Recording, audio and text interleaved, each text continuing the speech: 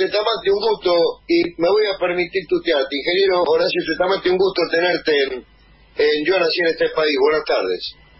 Buenas tardes, por supuesto, tuteame y agradecido por la convocatoria. No, al contrario, es un, es un gusto, es un lujo para nosotros. Y estaba, le estaba comentando yo a los oyentes respecto de tu denuncia eh, oportunamente llevada a cabo, en donde a través de la, corregime si, si estoy diciendo mal, a través de la derogación de la disposición 1108 del 2013, relativa con el relativa al transbordo en puerto de los estados parte del Mercosur, con la derogación de esta de esta este, disposición vino a cambiarse el rol del puerto de Buenos Aires eh, en favor del puerto de Montevideo. ¿Esto es así? Sí, exactamente. Nosotros, la Argentina en realidad viene de muchos años reivindicando una vocación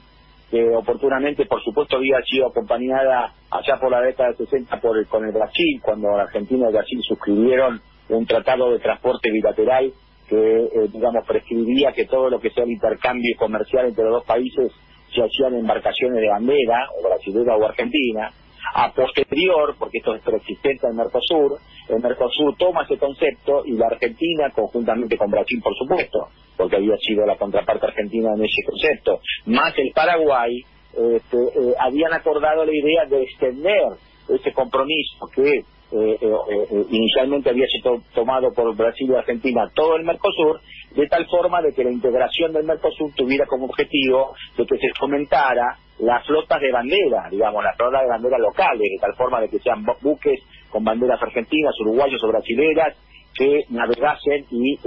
llevasen adelante el comercio de la zona, por supuesto con personal y con trabajo local. Ese concepto fue permanentemente boicoteado por Uruguay, de hecho nunca, eh, si bien contó con la aprobación del Paraguay y la aprobación de Argentina y Brasil, eh, y posteriormente de Bolivia y posteriormente de Venezuela cuando se suma como, como país asociado, este, nunca pudo generalizarse al Mercosur, primero porque obviamente la, el Uruguay era, garante de las flotas de, bandera de conveniencia, y, eh, de buques con bandera de los paraísos fiscales, y por supuesto articulando intereses con los europeos, que son los dueños de las embarcaciones con este tipo de, eh, bandera de conveniencia, donde no hay convenio colectivo de trabajo, donde no hay pago de impuestos, donde hay evasión impositiva a través de los paraísos fiscales, etcétera, etcétera, etcétera. Esa este, permanente del, del, del Uruguay termina cuando nosotros suscribimos la 1108 y le decimos, señores, a partir de ahora solamente se pueden hacer transbordos y si estamos hablando de la carga argentina, que tenemos todo el derecho de decir cómo la Argentina maneja sus, cargas, productos de sus economías. Y si la Argentina a partir de ahora este, va a hacer o permitir transbordos de los socios del Mercosur aquellos países que hayan respetado este concepto. Con lo cual Uruguay, en su negativa, este, quedaba fuera. A partir de ahí se, puso en blanco y en negro el 80% de la carga que maneja el puerto de Montevideo tiene como origen la economía argentina. O sea, Montevideo es el enclave donde se agrega valor a la carga, donde se valen con la sub, sub este, eh, facturación, sobrefacturación, paraísos fiscales, etcétera, etcétera, los eh, productos de, Argentina. A, a, partir de ahí, cuando eh, la presidenta Cristina nos autoriza, o me autoriza, porque lleva mi firma, a la firma del 1108, se determina que al día siguiente casi el 70% de la carga de Montevideo deja de fluir por Montevideo y pasó a fluir a través del Brasil. Eh, y fluye porque la Argentina no tiene puerto de agua profunda, porque el puerto de, Mar de Buenos Aires solamente tiene 34 pies, que es un calado insuficiente. Eh, a, partir de ahí Uruguay tomó conciencia de la determinación argentina que esto ya esto este asunto de jugadas escondidas se acababa y se puso, digamos, a manifiesto que, bueno, que finalmente se venía a acompañar la idea de que realmente el Mercosur se pusiera a trabajar en conjunto para que realmente sea, en definitiva, el objetivo central que es el desarrollo local y el desarrollo de la flota de bandera. Esto duró hasta prácticamente enero del 2016, porque el primer acto de gobierno que hace el presidente Macri es cuando ya estaba la mesa de negociación, cuando ya los uruguayos habían venido y habían suscrito un borrador que estaban de acuerdo a aceptar que a partir de ahora el Mercosur iba a ser un puente de trabajo para los buques de bandera nacional, este, eh, a partir de ahí, en forma increíble, este, Macri deroga la 1108. A partir de la derogación de la 1108 volvió toda la carga a Montevideo y este, eh, la, comisión negociadora de Uruguay desapareció, nunca vino más a la Argentina. Eh, a partir de ahí se volvió todo a foja cero y finalmente termina con el broche de oro, ¿no es cierto? Cuando el gobierno de Macri increíblemente se allana al libro cerrado y da por aprobado la protección uruguaya de dragar, que no es de Uruguay, en realidad son de los monopolios que están instalados en Uruguay, este, dragar a 47 pies con lo cual si esa obra se lleva adelante, ya definitivamente sería la derrota de la Argentina porque ya quedaría entronizado el puerto Montevideo como el centro logístico central y, modo distributivo de todo lo que sea la cuenca del Plata. Y así estamos hoy, en esta circunstancia. Ahí me, ahí me quería detener, Horacio, es decir, en el tema del dragado, vos exponés que hay dos puntos para entrar a los puertos, uno es el, canal que, que draga Uruguay, o el que pretendía dragar, o el que le dieron acceso para, para que pudiera grabar, y el otro el canal Magdalena. ¿Digo bien? Exactamente, es decir, cuando uno analiza, si bien el río de la Plata es por todos conocido como el río más ancho del mundo, cosa que es cierto, porque si tomamos que la distancia entre Cabo San Antonio y Punta del Este es todavía río de la Plata exterior, ahí tenemos casi casi 200 millas de ancho. Pero lo cierto es que la orografía del Río de la Plata es muy compleja. Eh, el Río de la Plata eh, tiene la presencia del Banco Inglés, eh, tiene la presencia del Banco Ortiz, o sea que así sea el más ancho del mundo, existen solamente dos puntos nada más donde se puede ingresar al Río de la Plata. Es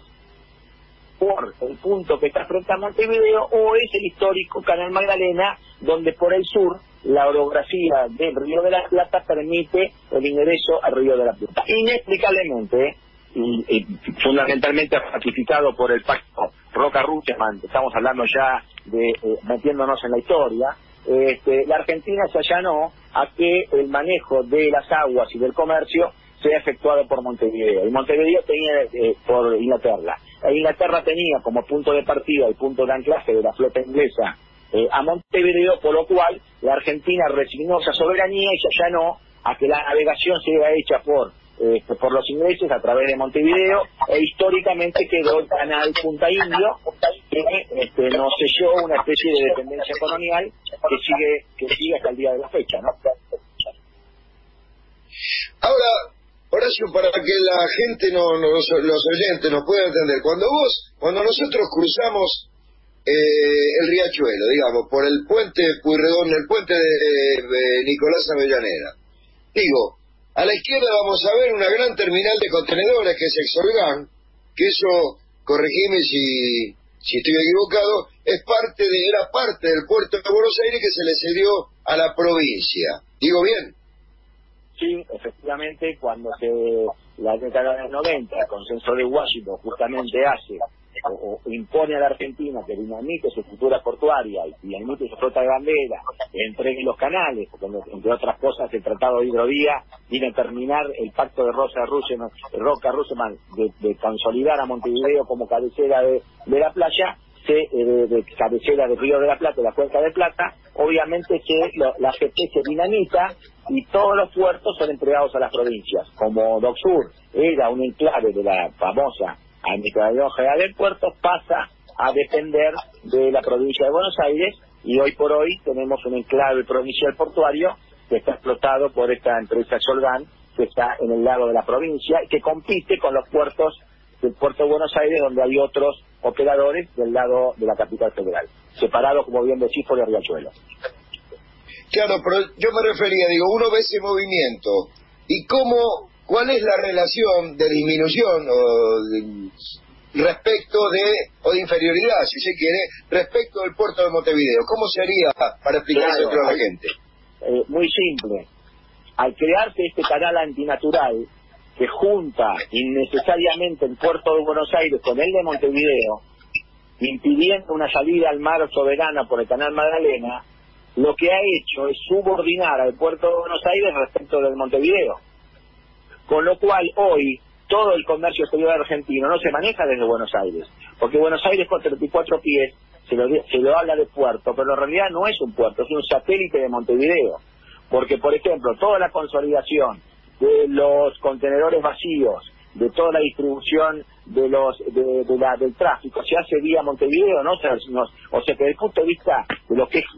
el, multimodal, que son los contenedores, yo te diría que hoy la Argentina se convierte como un país mediterráneo. Es decir, el puerto de Buenos Aires no es soberano, soberano es un satélite del puerto de Montevideo. ¿Y por qué es un satélite del puerto de Montevideo? Porque justamente hay un canal antinatural este, que paga la Argentina que lo somete a la obligatoriedad de que todos los barcos previos al ingreso del puerto de Buenos Aires necesariamente tienen que pasar por Montevideo en forma este, prioritaria.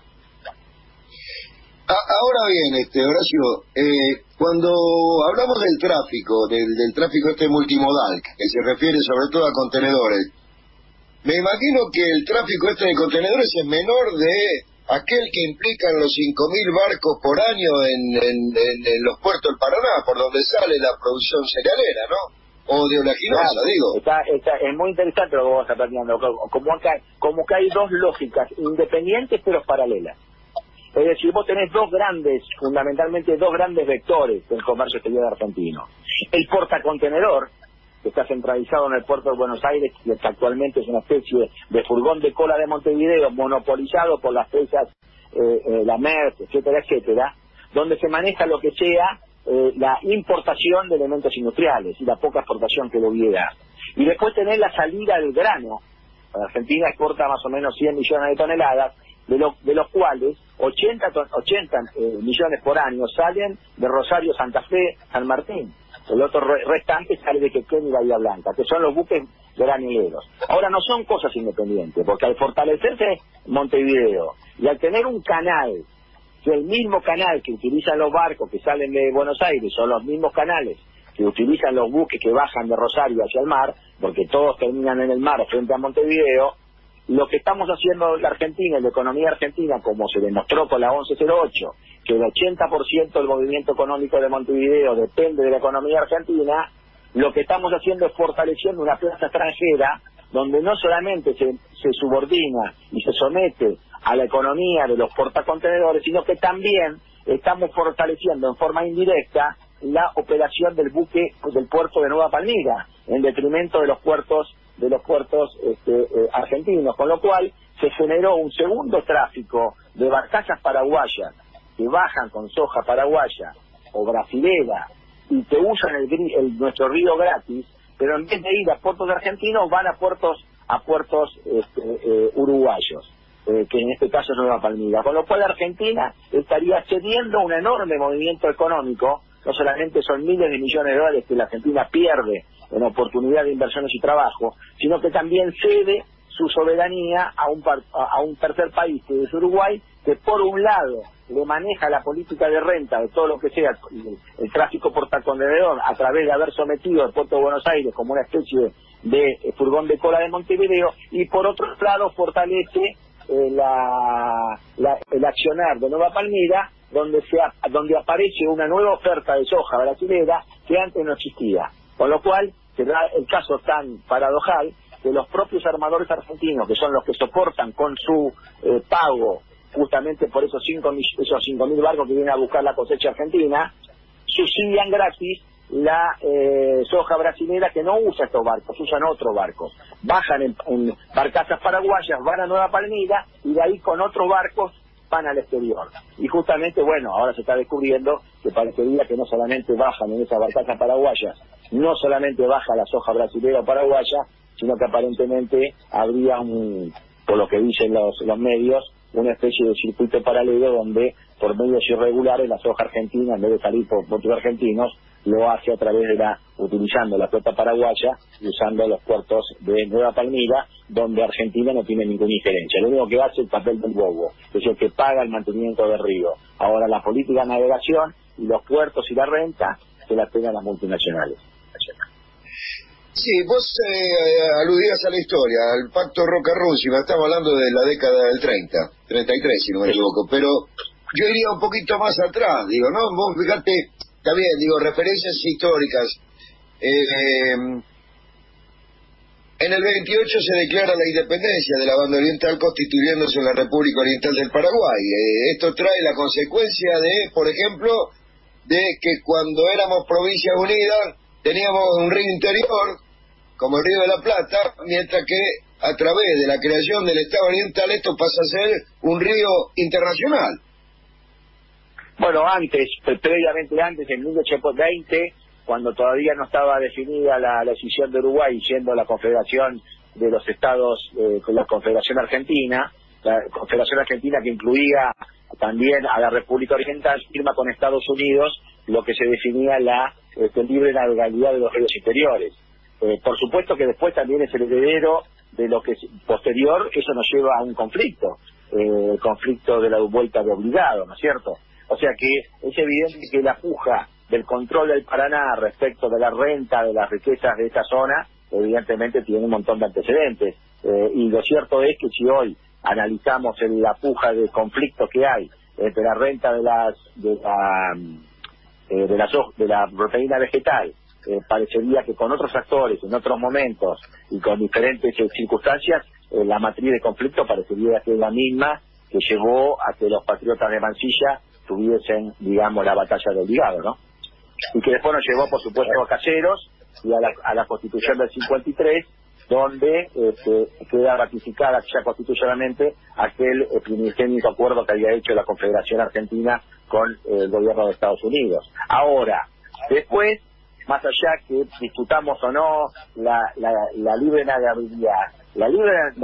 navegabilidad no significa ni internacionalización ni resignación de soberanía normativa, porque todos los acuerdos firmados, inclusive la Constitución del 53 y la que se modificó posterior, dice libre la sujeta a la normativa de los de los de los países soberanos. Y lo cierto es que el Paraná, el corazón del Paraná, la columna vertebral del Paraná, que le da vida a lo que es la cuenca Paraná-Paraguay y lo que hoy mal llamado se llama hidrovía Paraná-Paraguay, la verdad el tronco corresponde al sur de, la confluencia, que es un río de absoluta soberanía eh, Argentina. Sí, y respecto de esto, de vos hablabas del, bueno, el tema de Nueva Palmira, es un puerto, a ver, no sé, no encuentro el término, te diría,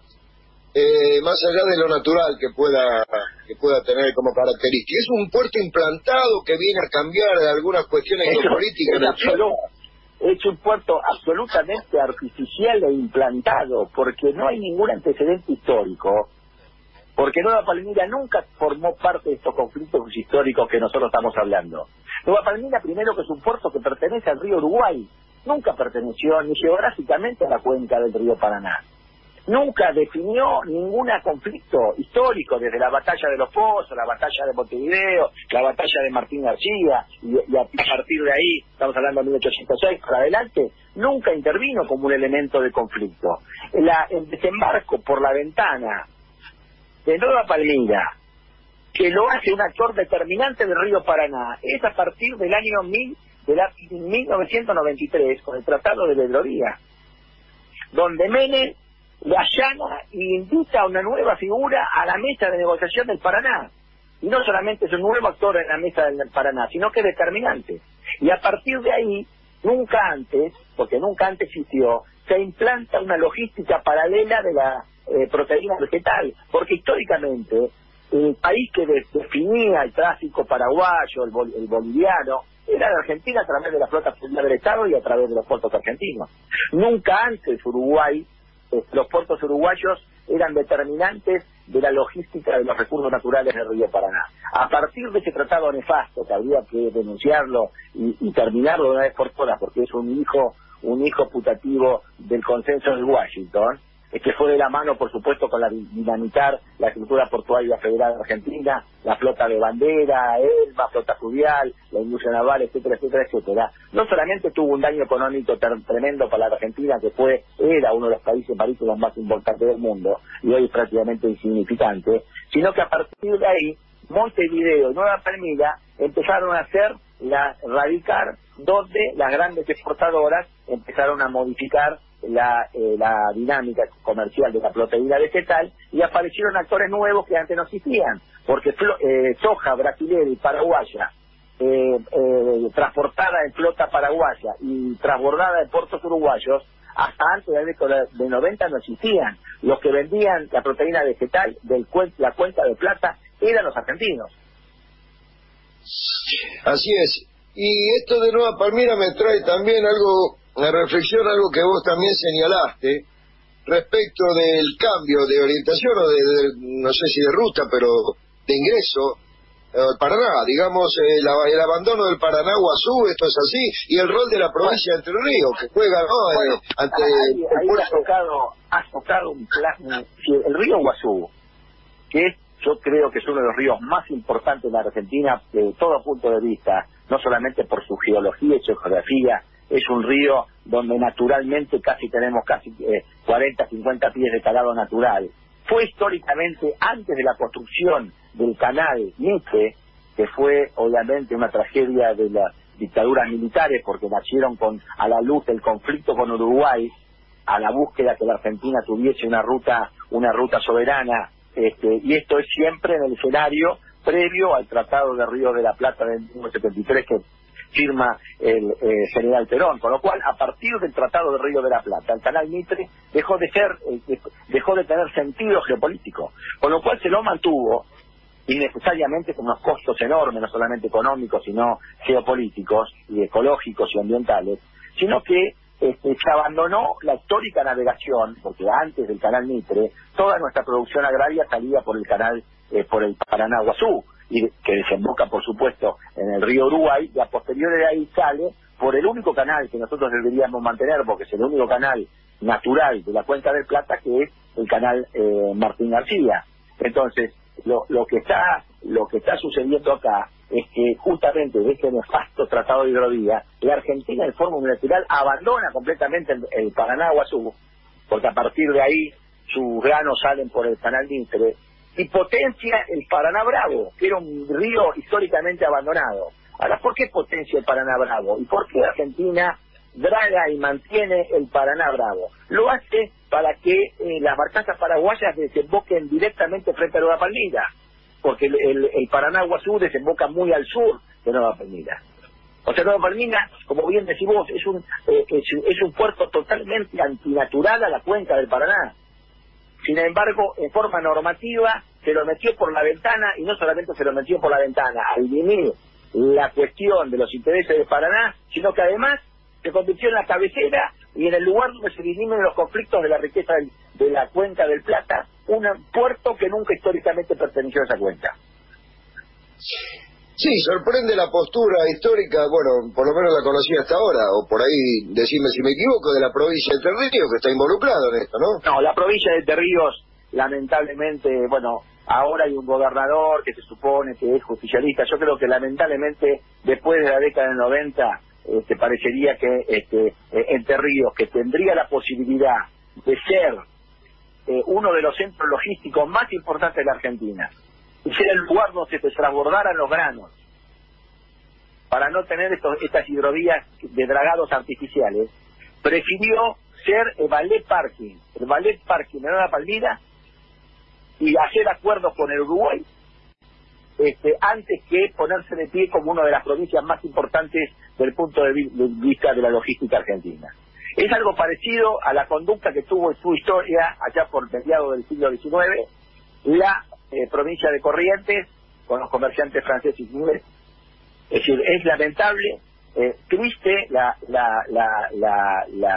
actitud política que ha tenido Entre Ríos y particularmente ahora este gobernador que juega más para el enemigo que para la patria. Sí. Y respecto del Puerto de la Plata, el Puerto de la Plata sería la única alternativa a Montevideo por su por su calado, digo, por su por su eh, su profundidad. Y claro, porque acá el problema es que eh, la cuenca del Plata necesita un punto de transferencia de transición fluvio-marítima porque en realidad hace falta un puerto fluvial, pero que tenga capacidades marítimas, porque toda la carga que viene por vía fluvial tiene que ser transbordada a una vía marítima. Entonces, el lugar donde se hace transbordo no solamente es un sistema eh, de transporte técnico, es un punto de un altísimo voltaje en términos geopolíticos. Entonces, es evidente que acá el conflicto, históricamente el conflicto, es quién es la puerta de entrada del Puerta de Plata. si es Montevideo o si es Buenos Aires. Ahora, cuando los buques calaban 20 pies, 15 pies, 18 pies, y ambos puertos tenían ese calado natural, podían competir entre sí. Del momento que ahora los buques pasaron a hacer 47 pies, el país que domine los 47 pies, esos famosos 14 metros y esos dos puntos que antes había citado, es el que pasa a controlar estratégicamente la logística de la cuenca del Plata. El gobierno de Macri, este, que a, modo de traición a la patria se allana a libro cerrado a aprobar el dragado 47 pies, que ya es irreversible, porque esto es el artículo 17 del Tratado de Río de la Plata. Si cuando una parte presenta un proyecto, la otra tiene 180 días para plantear objeciones o eventualmente plantear reserva de derechos. La Argentina dejó pasar los 180 días a la, a la presentación que hizo el gobierno uruguayo sin ni siquiera presentar absolutamente nada y ya quedó este, por lo que prescribe los plazos del Tratado de Río de Plata, quedó ya aprobado el, canal de Montevideo 47 pies. Con lo cual Argentina está obligado, si no quiere perder protagonismo o ceder finalmente lo poco que nos va quedando, que es la cuenca del Plata, es contraponer un puerto que tenga capacidad de una profundidad semejante. Ahora, cuando uno analiza la geología del Río de la Plata, de esa alternativa sur que tenemos, es evidente que el único puerto que tiene características geológicas que le permitirían en términos de razonabilidad económica poder ser alcanzado con 47 pies desde el mar hasta el río de la Plata es el puerto de la Plata. El puerto de Buenos Aires no es imposible que alcance 47 pies porque tendría un costo y una eh, y una y una afectación ecológica y yo creo que hasta limitaciones de factibilidad práctica de poder llegar con 47 pies, con lo cual el único puerto fluvial nos permite a nosotros poder tener esa capacidad de igualar el calado de Montevideo es el puerto de La Plata. Y además, al aparecer el canal Magdalena, aparece también La Plata como el eslabón perdido entre la Argentina fluvial y la Argentina marítima. Porque uno de los objetivos del consenso de Washington fue partir la Argentina al medio. históricamente la Argentina estaba unida por barcazas que navegaban desde, desde Barranqueras hasta Chubut, hasta, hasta Comodoro Rivadavia. A partir de que nos pusieron este canal con un Montevideo en el medio, dijeron, bueno, a partir de ahora a los argentinos los expulsamos del agua. Le sacamos sus puertos, le sacamos sus flotas, le cerramos sus, este, sus este, eh, elementos del Estado para dragar y para mantener, este, y eh, eh, eh, internacionalizamos el mar Atlántico por un lado y el río Paraná para el otro. El Paraná se lo damos a las multinacionales exportadoras de grano y el Atlántico Sur se lo damos a la pesca inglesa y a Montevideo. A partir de ahí nos partieron el medio. Entonces hay una Argentina fluvial que está totalmente eh, divorciada de la Argentina marítima. Nosotros con el canal Magdalena ponemos un eslabón perdido y hacemos una vía troncal, vía agua que nace en, en, Barranquera, que nace en Posadas y termina en Ushuaia, con una eh, eh, longitudinalidad soberana de transporte por agua y ahí aparece también, por supuesto, aparece en escena una nueva variable que es la logística de cabotaje por agua que abarataría enormemente eh, el transporte de, los propios consumos argentinos y también aparecería la plata ya no solamente como una eh, contrapartida con Montevideo, sino también como un eslabón perdido que permite, digamos, este, eh, unir e, e interconectar la Argentina fluvial con la Argentina marítima. Hay que tener en cuenta que el puerto de La Plata es el último puerto fluvial de la Argentina y Mar del Plata es el, primer puerto marítimo de la Argentina. Entre Mar del Plata y La Plata existe un socio intermedio con una cabina de peaje extranjera que es Montevideo. Es como si es lo mismo que usted agarraría la ruta 9 y en un momento determinado de la ruta 9 yendo de Capital Federal al Chaco a Formosa tendría que pasar por Uruguay, hacer eh, migraciones en Uruguay y volver a la Argentina. Así es, pero me parece que esta criminal este, disociación que vos marcás muy bien, este, este, este, esta Argentina partida, tiene, creo que vos también lo señalás, tiene que ver con el tema geopolítico Malvinas, se establece una conexión Montevideo, este, Puerto Argentino. ¿Qué duda cabe? Montevideo es lo que facilita la pesca ilegal del Atlántico Sur. Montevideo es el que facilita eh, la logística de ocupación inglesa en Malvinas. Y Montevideo es la que facilita la enorme fuga de divisas de nuestro comercio exterior.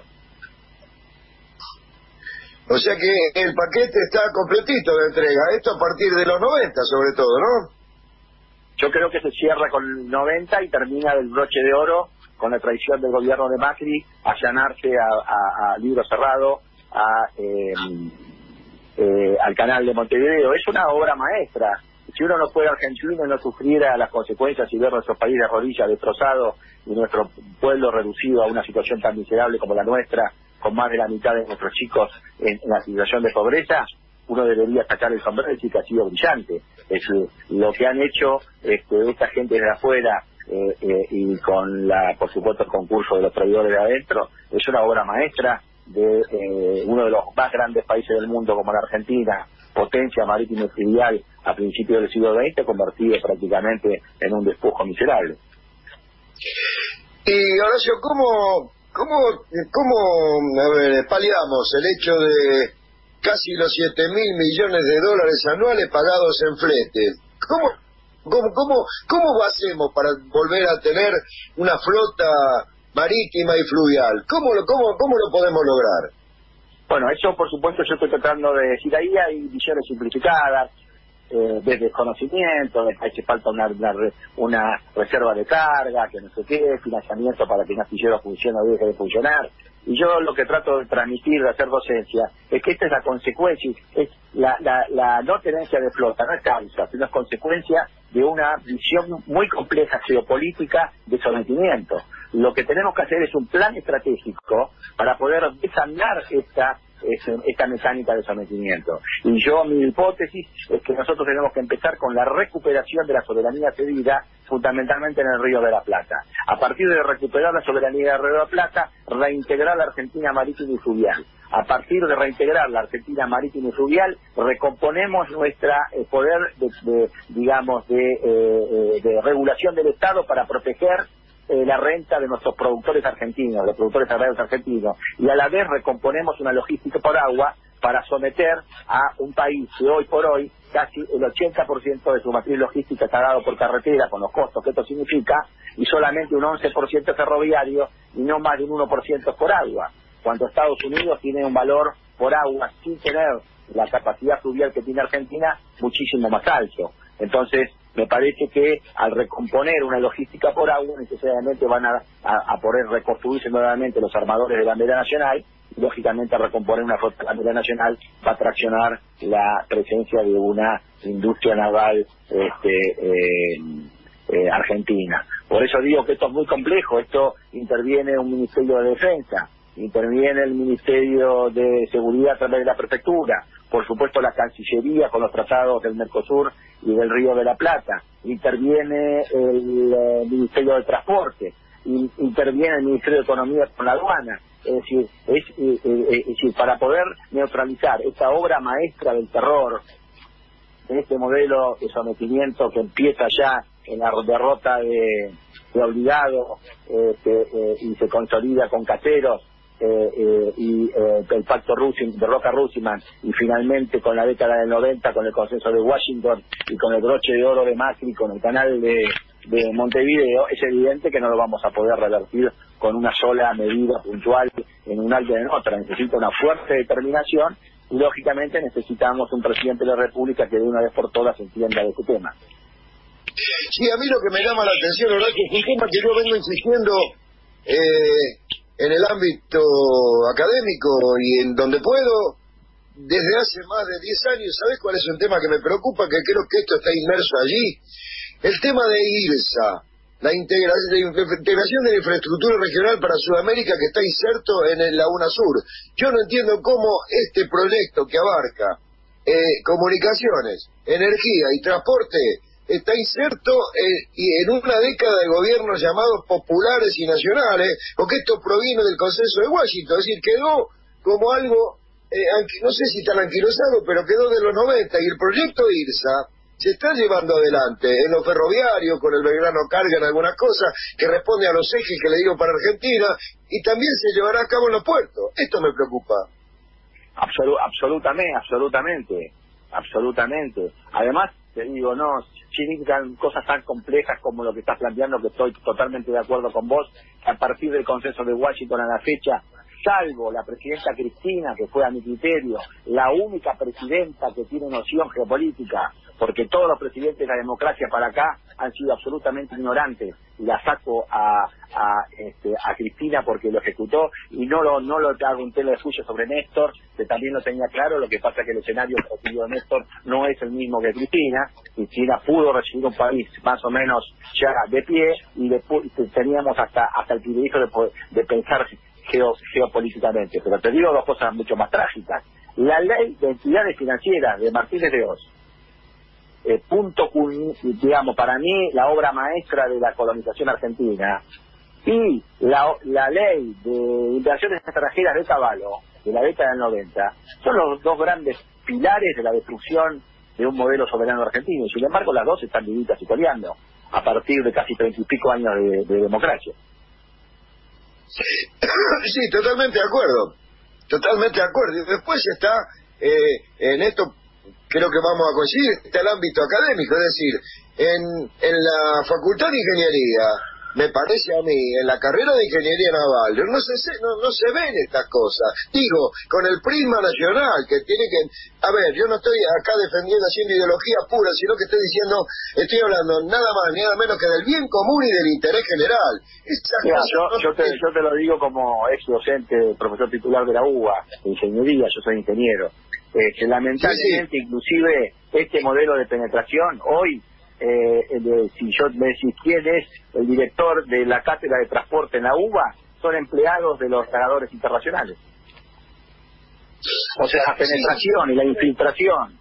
de Cipayos ha atravesado todo, no solamente el ámbito de la política, el ámbito de los sindicatos ni hablar sabemos perfectamente quiénes son los sindicatos, que son, o pseudo sindicatos, así, porque para no tiene nada de defender los trabajadores que están, que son prácticamente felpudos o empleados de Jean Benul y de todas de la MERS y de compañía. Y también lo mismo sucede en el ámbito empresario, donde aparecen los Javier Romero y los que son los baliceros, que no han desarrollado ninguna otra tecnología que no sea la de colinear, este, y también en el ámbito empresario, lamentablemente en el ámbito académico. O sea, eh, la, eh, convertir a un país como Argentina y de lo que fue la Argentina a lo que es ahora no es una tarea fácil, ¿eh? No, lo, veo. Yo formé parte de la, de la Universidad Tecnológica Nacional, en su rectorado tenía un centro de investigación de transporte, publicamos, hicimos libros sobre transporte este, terrestre, y, pero no solamente lo ves ahí, eh, si no lo veo en ferrocarriles más, los mismos personajes que son obviamente eh, con por ejemplo, una eh, hablando de ferrocarriles, vos sabías, lo que es el veterano carga lo conocemos, ¿no es cierto? El significado estratégico de una carga, de una línea realmente soberana. Eh, fundamentalmente, el, el veterano carga tenía como objetivo llevar, resolver la logística transversal de la Argentina pero presuponiendo que la logística longitudinal estaba dada por la riqueza fluvial de la Argentina. Por eso vos tenés un Vergano Cargas que no solamente te conecta Bolivia y el noroeste argentino con el puerto de Formosa y el puerto de Barranqueras, y ahí para el sur con la zona de Rotafé. Sin embargo, los 150 kilómetros del Codillo que hace la traza originaria de Belgrano, que viniendo paralelo al Pilcomayo, el Bermejo, giraba hacia, hacia el sur para ir a alcanzar el puerto de Rosario y hacia el norte por Formosa, la trama que unía ese punto con el puerto de eh, Barranqueras, otro enclave estratégico de la producción argentina de toda su historia, sin embargo Mati la levantó. O sea, se hicieron un diseño de ferrocarril mutilando las arterias que permitían, digamos, resolver la, la integralidad logística argentina, diciendo que la longitudinalidad la resolvían los barcos, la transversalidad lo resolvían los ferrocarriles y, y la radialidad lo resolvían las, eh, los camiones, pasó a tener prácticamente toda una red camionera que terminara o en Rosario por un lado o en Puerto de Buenos Aires por el otro, cortando la posibilidad de una Argentina marítima y fluvial. ¿Para qué? Para someterla porque evidentemente con esa matriz logística es evidente que tenés a un pueblo de rodillas, porque prácticamente todas las producciones tienen que depender de los enclaves portuarios centrales y de los pocos que sobrevivieron, que están todos en manos de las multinacionales. Sí, esto agregándole también la, la inadecuada asignación de recursos que implica llevar todo al transporte carretero, ¿no? Bueno, estamos hablando que se multiplica, eh, bueno, por supuesto que el costo logístico es el que explica tremendamente la carestía de la vida que sufren los argentinos, que es una cosa casi escandalosa y que es una garantía de someter a todos los argentinos a un futuro de incendia y de decadencia. Y respecto de, de, los puertos, este, no no pensás que habría que volver a, a crear, este, digo, eh, la, la, la, injerencia de la Administración General de Puertos y la nacionalización de los puertos. Esto no no no podemos tener puertos, me parece a mí, en el Paraná. que yo le decía, eh, trataba de poner que eh, pensar los puertos es como pensar estaciones de, de, ferrocarril y las vías férreas. Es decir, primero son las vías férreas, después son las estaciones y por último son los, las, este, las unidades y las locomotoras. No podemos empezar primero por los barcos. Es tan desgraciada la situación argentina que lo tenemos que hacer a reconstruir a través de un eh, plan estratégico de aproximaciones sucesivas que vaya recomponiendo, digamos, una soberanía integral que le permita hacer, poner en marcha eh, políticas públicas al servicio del desarrollo nacional. Por eso digo que acá el primer paso que hay que hacer es que si Montevideo se queda con los 47 pies, vamos a quedar definitivamente sin la posibilidad de recuperar la soberanía del Río de la Plata y del Paraná y por lo tanto no poder recuperar eso significa no poder darle vida a los puertos, con lo cual qué sentido tiene es decir, yo estoy, yo soy contrario a la nacionalización de Vicentín. Eh, ¿Por qué? Porque estoy preocupado que los argentinos crean que el malo de todas las películas sea Vicentín. O sea, que muerto el perro, muerta la rabia. Se supone, parecería creerse que si la Argentina nacionaliza Vicentín, toda la renta agraria sería resuelta a favor de los intereses nacionales. Y yo le transmito que Vicentín es un perejil, es eh, una pequeña muestra de la, de la de la, de la, de la cosa, porque en realidad la parte del león se la llevan las multinacionales, Targil, Bunge, eh, este, y se lo hacen no solamente en barcos de bandera argentina o extranjera o el puerto Rosario, lo hacen con puertos en Brasil y con el manejo del puerto Nueva Palmira. Con lo cual el problema central no está en Vicentín, el problema es central. No le tengo miedo a la ilegalidad de Vicentín, porque las ilegalidades de las empresas nacionales se resuelven para que las entidades que tienen que controlar controlen. A mí me preocupa más la legalidad colonial que se maneja en Paraná que la ilegalidad que puede hacer una empresa argentina en un puerto argentino. Sí, es cierto, es más preocupante la, la, la, la ilegalidad la, legalidad colonial, es más preocupante la legalidad colonial que la ilegalidad que se produce en el derecho argentino. Sí, sí, aquello que Jaureche llamaba el estatuto legal del coloniaje, ¿no? Exactamente, exactamente. Entonces, a mí me preocupa, y creo que el presidente tiene, está mal asesorado, tiene un mal diagnóstico,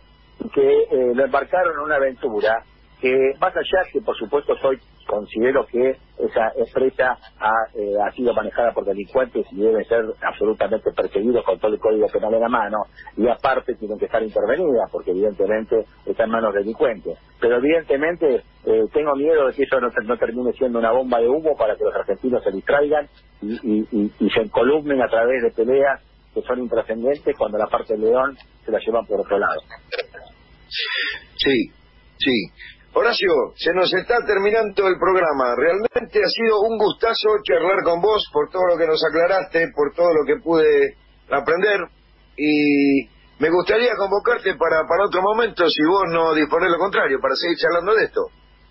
Bueno, yo estoy a disposición y al contrario agradecido porque considero que puedo que puedo hacer una, un aporte en este momento tan tan complejo de nuestro país, ¿no? Así que Pronto te voy a convocar nuevamente, si vos no decís lo contrario, si seguimos hablando de este, de este tema que a mí también me apasiona y todo lo que tenga que ver con el interés nacional este va a estar siempre en el centro, por lo menos, de este programa y de, de, lo que yo pienso, ¿no? Así que te mando un abrazo grande, cuidémonos y ha sido un gustazo tenerte en nuestro programa. No, el gusto fue mío y gracias por la invitación y a disposición. Al contrario, ¿eh? gracias por tu tiempo. Un abrazo grande. No, por favor.